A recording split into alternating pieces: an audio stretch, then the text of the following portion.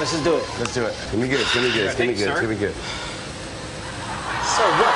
I'm a grown man. Come. I'm about to let- all right, all right. You're making fun of him being short. How tall is Kevin Hart?